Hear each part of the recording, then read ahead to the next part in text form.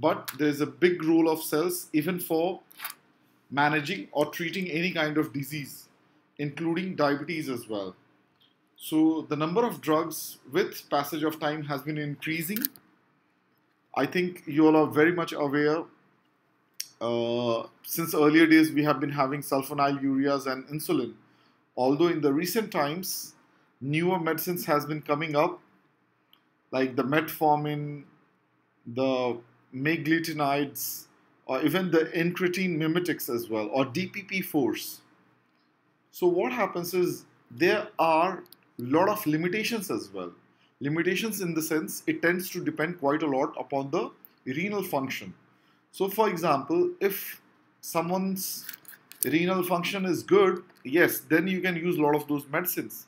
However, when you are trying to think if someone's renal function test is limited, then the choices which is available for you is very, very less.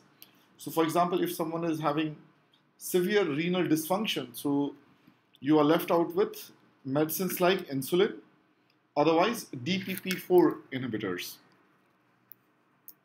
This is a slide which contains all these drugs. So what are those brands which is available? What is their mechanism of action? The adverse effects and the precautions but we will try to focus today on the DPP4 inhibitors. So one of the important name which comes for this is Exendin 4. So this there is a uh, Gila monster which is mostly commonly seen in the Mexico. So what was observed was this monster tends to eat only four times a year. And then what happens is it can not only shut down the pancreas but also it has a special enzyme in its saliva, which is exendin 4.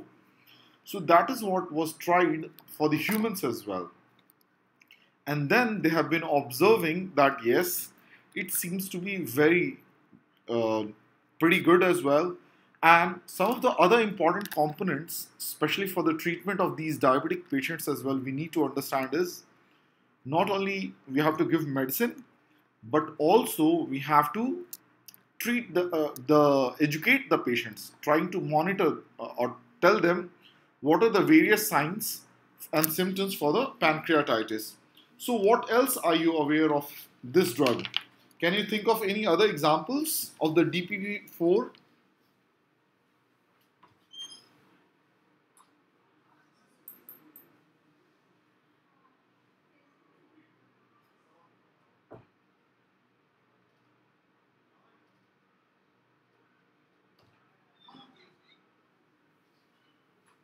So what are the various examples for that?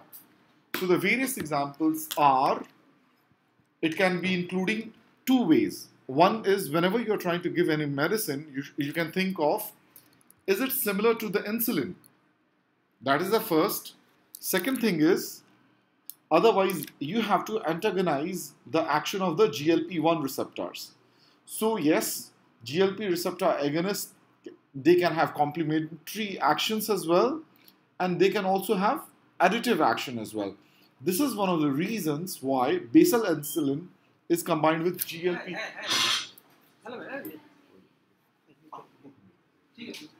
Uh, so this is what is being done. And then other than that, what happens is, so there are some adverse effects and warnings as well uh, with this. So you are not supposed to be using this for patients, for example, who is having a personal or even family history of medullary thyroid carcinoma. And also if there's any history of multiple endocrine neoplasia. So what is like, which is called as MEN2.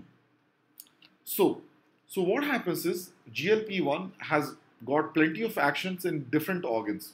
Different organs include the liver, brain, heart, pancreas, skeletal muscle, the blood vessels, kidney, and also the fat cells. So the action is quite a lot. It is there on a lot of organs as well. So that is where we have to see how can it help the patient and is it even able to help the patient also or not. So that is where comes a newer molecule, something which is called as liraglutide. Does anyone remember about this molecule? So this is one of the uh, GLP-1 analogs. The good thing is it not only decreases the glycosylated hemoglobin, but also can decrease the body weight. So yes, it does have a slight risk of hypoglycemia, but your voice is keeping on breaking, doctor. yeah, yeah, yeah, yeah, yeah. Now as well, is your it? voice is keeping on breaking, doctor. Can you please go to the previous slide, doctor? Yeah, I'm. Okay, now. Yeah, now, yeah. Start from here, doctor. Okay, okay. So as I was telling you, so liraglutide is a very interesting molecule in the sense that not only tends to decrease the gly- glycosylated hemoglobin, but also reduces the weight of the patients. So which is very important because you can control the diabetes and also its side effects as well. But yes, it may have a risk of hypoglycemia, in fact. So, what about the other examples other than exenatide? What are the other examples which are available? So, other examples, as I had said it, they can be GLP-1 analogs, which includes exenatide, liraglutide, or albiglutide or dulaglutide as well. Otherwise, which can be given orally. Orally includes is DPP-4 inhibitors.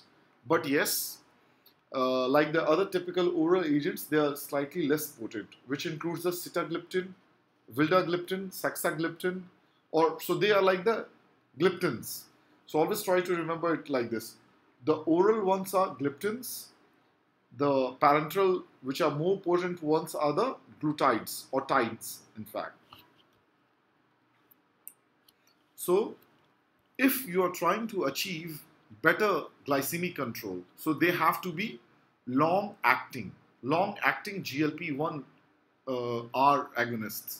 So, what is going to happen is the patient will be having the benefit of having higher insulin levels in the fasting stage and also, of course, during the night time as well.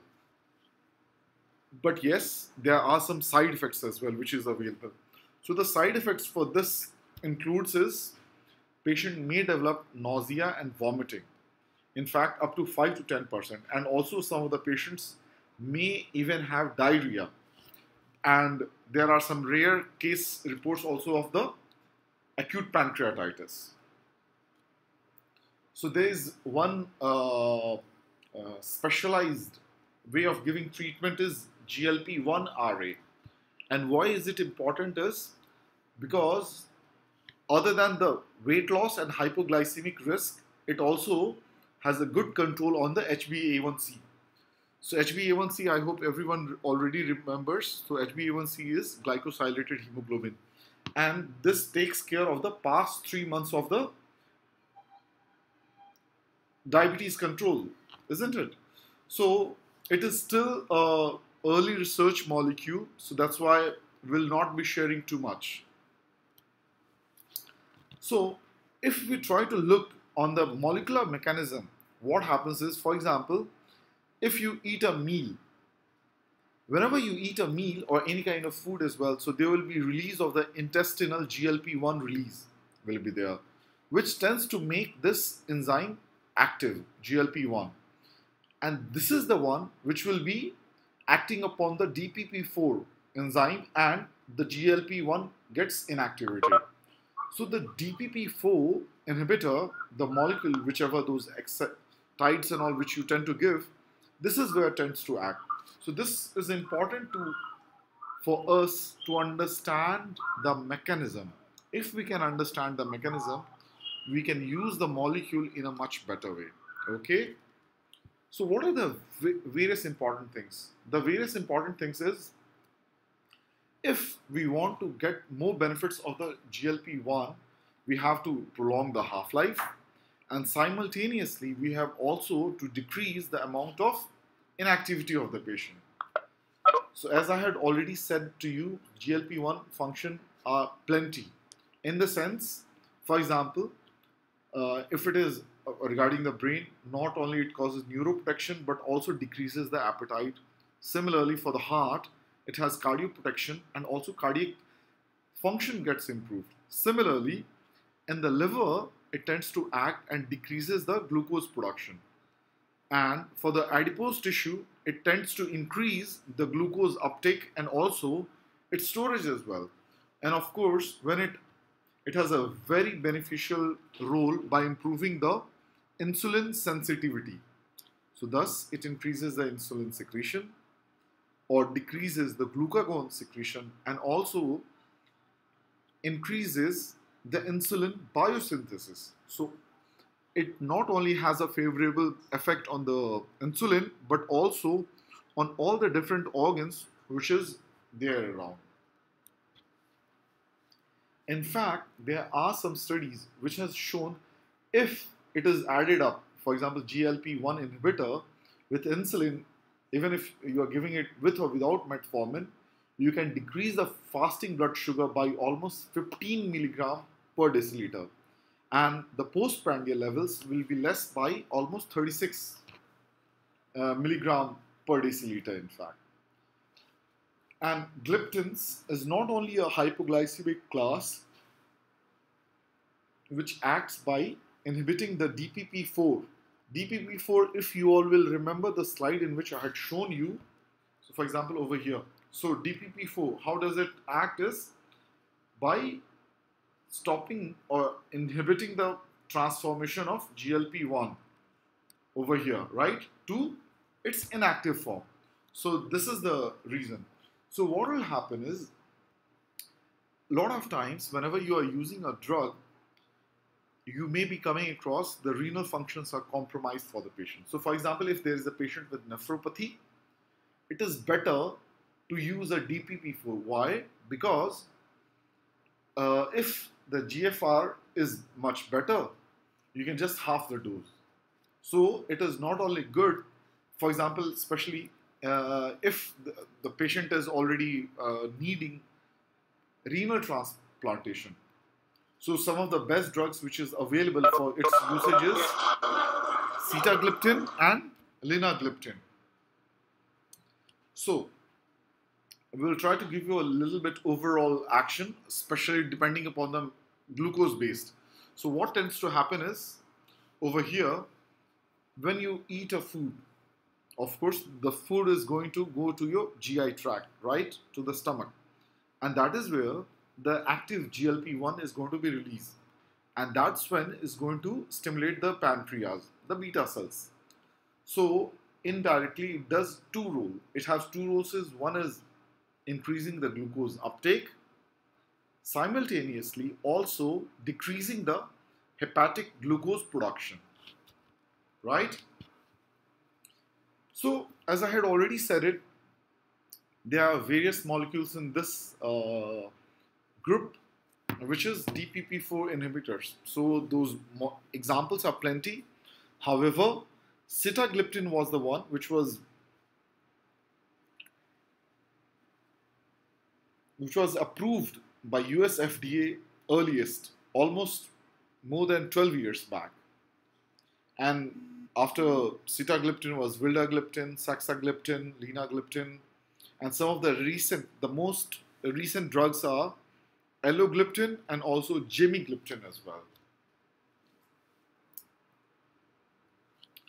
And uh, what was also uh, in the initial days, what had happened is the clinical observations, what was made with the DPP4 inhibitor was, especially for the pancreatitis or pancreatic cancer, was refused by the ADA. ADA, ADA stands for what? Does anyone remember? What is ADA?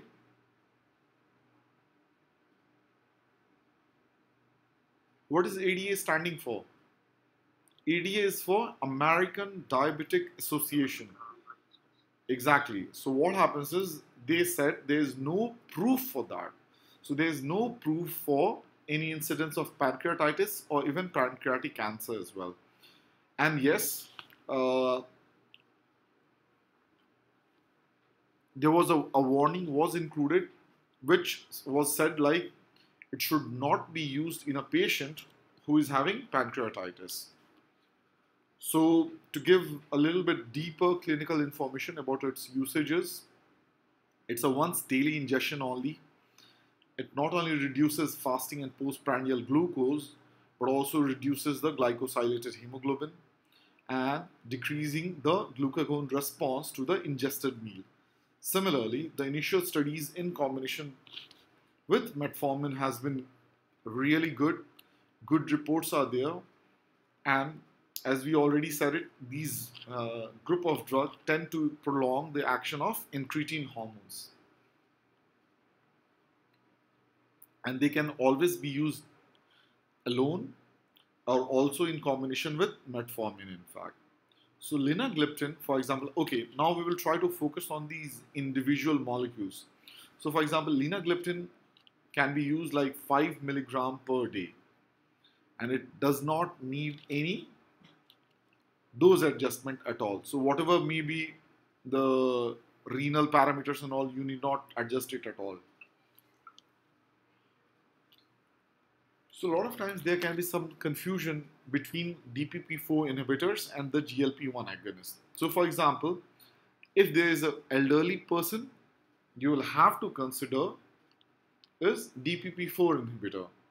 Similarly, if there is a young diabetic with a abdominal obesity, yes, you should consider GLP-1 analog. Similarly, for patient with moderate to severe renal failure as well, DPP-4 inhibitor should be considered, but in lesser dosage. Okay. So now coming to the vildagliptin. So vildagliptin, same way, nice thing is it's only 50 mg twice daily. Almost 80% is eliminated unchanged by the kidney. And yes, there is slightly increased risk of in, uh, skin lesion as well. So now the next gliptin is sitagliptin. Sitagliptin is you have to use 100 milligram once daily and 80% gets eliminated unchanged by the kidney as well. And you can reduce the dosage to 25 to 50 milligram per day in the patients with Narendra? yeah Dr. Narendra? yeah Doctor, your voice has gone broken at the starting of the slide itself. Doctor, kindly can you repeat whatever you have said from for the slide? okay uh, am i audible now so sitagliptin what i said doctor. everything is written on the slide. So what I had said was the interesting thing is you have to give normally 100 milligram once daily. If someone is having a renal failure, you have to reduce the dosage to 25 to 50 milligram. But yes, the patient who is taking this medicine may have an increased risk of pancreatitis. Okay.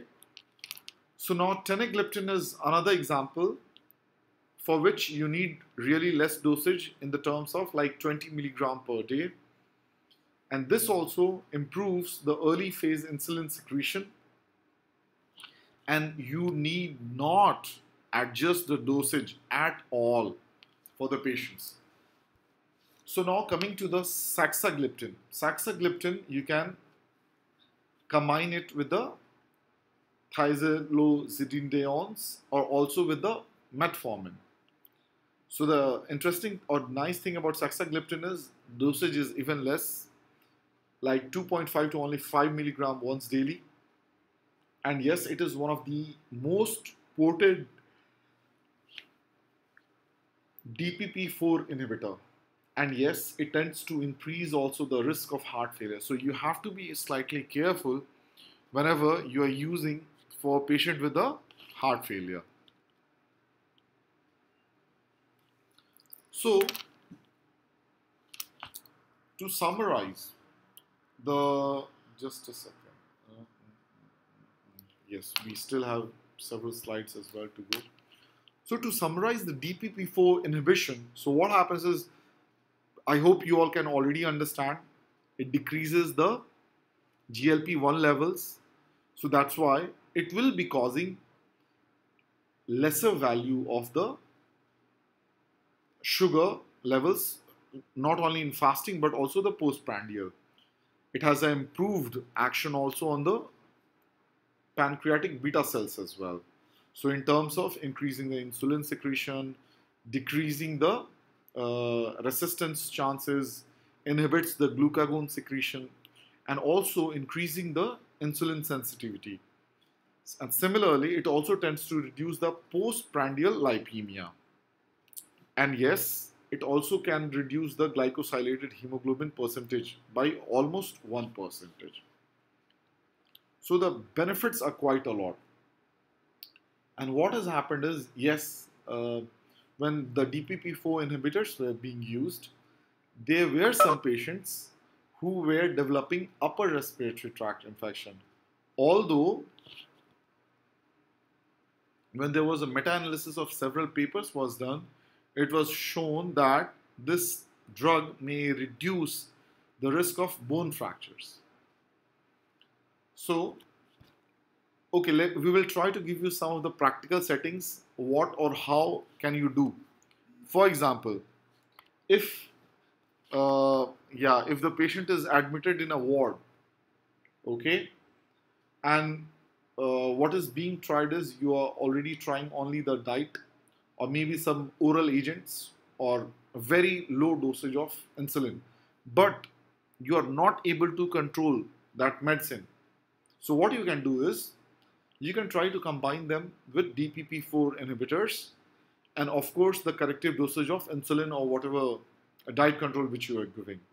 Otherwise, you can also same way combine with the usage of DPP4 inhibitors and also give basal insulin in terms of 0.15 to 0.5, 0.25 units per kg. Okay. Now coming to the ICU setting. So as I already said it, if it is patient is in wards, you manage it differently. But similarly, if the patient is in ICU, then what you do is you have to give IV infusion of GLP-1, okay, plus of course the corrective dosage. And what happens is you have to lower the insulin dose adjustments so as to improve the left ventricular function, especially if if you have to come across a patient who has had a myocardial infarction or congestive heart failure as well. You can do it like this. Otherwise, you can give subcutaneous exenatide and you can give in terms of 5 to 10 microgram BD. Okay, otherwise, if there's a pediatric burn patient, okay, you can give IV insulin as well.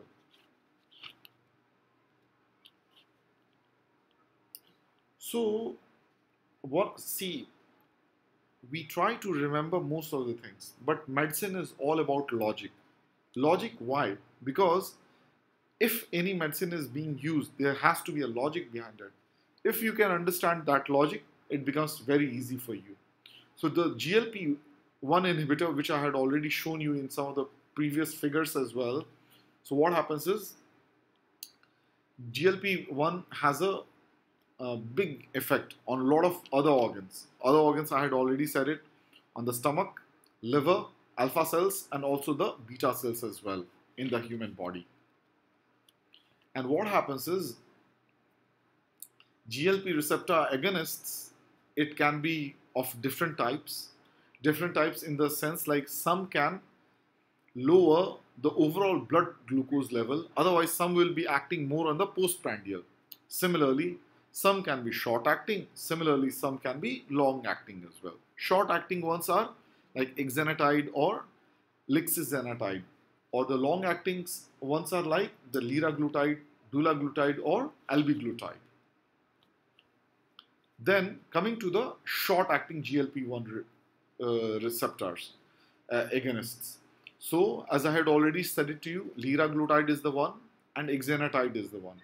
So liraglutide, as I already said it, the best advantage is you need to give only subcutaneous only once the other good thing is that yeah the elimination is uh, time is like uh, 12 to 24 hours. So once if you have given that is enough. But exenatide you will have to give subcutaneous and twice daily. And the, due to its rapid absorption the, it peaks in almost nearly two year two hours actually.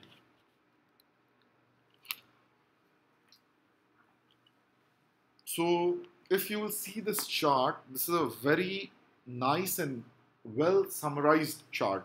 I've given especially for a lot of people who may be getting confused.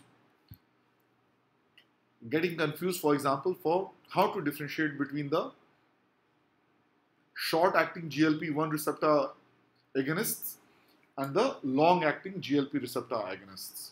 So, exenatide and lixisenatide are the short acting, and the other ones like liraglutide, dulaglutide, or exenatide, they are the long acting ones. So, that's what you can see it, it's pretty different, right? So, there has been some recent guidelines as well, which has been trying to confirm, especially about the safety of the incretin agents, because of the various confusion uh, between the mechanism of action. So what has been happening uh, is like even the uh, American College of Endocrinology, they said it in their 2013 consensus document that look, nothing has been established yet. So it's difficult to say. So none of these uh, statements tend to confirm that yes, there is such a big side effect and all as well.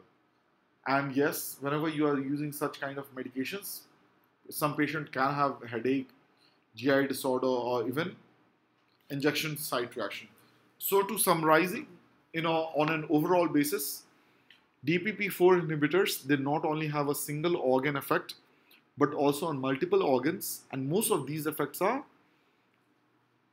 beneficial for the patient and it will give on an overall basis beneficial picture beneficial picture for the overall glycemic control so that is why these drugs may be something new but effects are uh, the positive effects are quite a lot.